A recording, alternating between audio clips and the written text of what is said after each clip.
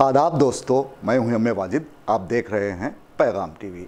आज की बात में, आज हम बात करेंगे आसिफाबाद के जे नूर की, जहाँ पर पिछले दिनों पेश आए शर्मनाक वाक़े के बाद फसाद फूट पड़ा।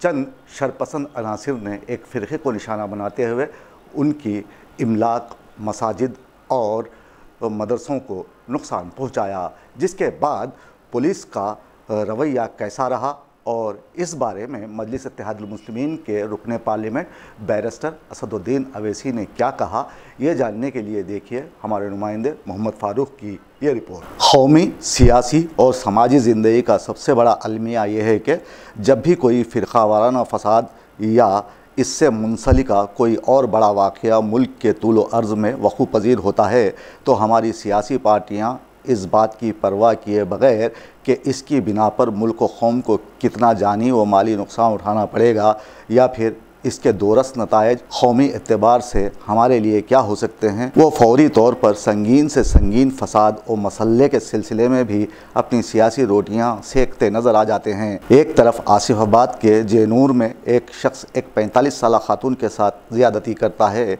तो यहाँ का माहौल अचानक बिगड़ जाता है। पिछले दिनों पेश आए वाक़े के बाद यहाँ चार तारीख को चंद शर पसंदों ने मनसूबाबंद तरीके से मुसलमानों की सौ करोड़ से जायद इमलाक को नुकसान पहुँचाया। उनके तजारती मराकज़, मसाजिद, मदारस, स्कूल्स के अलावा मोटरसाइकिलों और कारों को शदीद तौर पर नुकसान पहुँचाया गया और उस वक्त पुलिस अहदेदारों को खामोश तमाशाई बने खड़े देखा गया। ताहम इस फ़िरका वाराना फसाद में किसी जानी नुकसान की कोई इतला नहीं है। अगर एक शख्स गलती करता है तो उसे देश का कानून सजा देता है। लेकिन नौजवानों ने सरे आम फसाद फैलाते हुए कानून की धज्जियाँ उड़ाई हैं। ऐसे अफराद पर कार्रवाई करने की शदीद ज़रूरत है और मुतासरा खातून की हिफाजत पर ज़ोर दिया जाना चाहिए। इस मामले पर मजलिस इतिहादमसलिमिन के रुकन पार्लियामेंट बैरिस्टर असदुद्दीन अवैसी ने अपना बयान जारी करते हुए कहा है कि हम इस वाक़े की शदीद मजम्मत करते हैं, जबकि ज़िले एस पी गौस आलम ने कहा है कि जन्यूर के हालात मामूल पर आ रहे हैं और इलाके में अमन अमान की सूरत हाल हाल कंट्रोल में है। मैं इस बात पर पुरुद हूँ कि तमाम फ़िरक़ों को एक दिन ये बात समझ में ज़रूर आएगी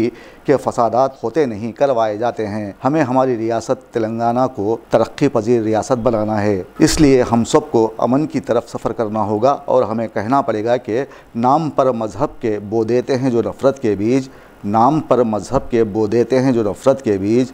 ऐसे लोगों पर शिकंजा आइए, हम सब कसें।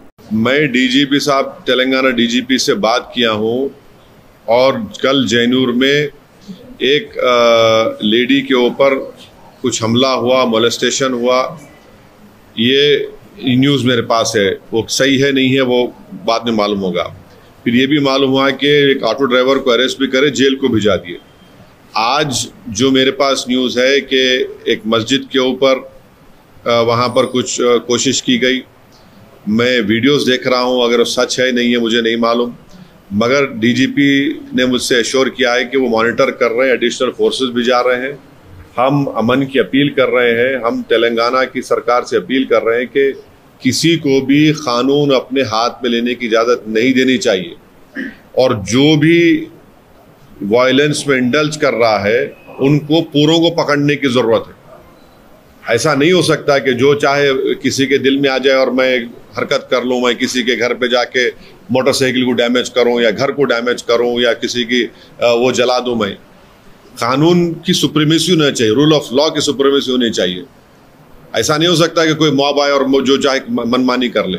तो मुझे उम्मीद है, क्योंकि डीजीपी मुझे अश्योर किया है, और हम हम उम्मीद करते हैं कि वहाँ के एसपी, जो आसिफाबाद के एसपी है, वो फ़ौरन हालात को नॉर्मलाइज करेंगे और जो कोई भी इस वायलेंस में इन्वॉल्व है उनको पोरों को इमिडिएटली अरेस्ट करके उन पर उनको जेल को भेजाया जाएगा।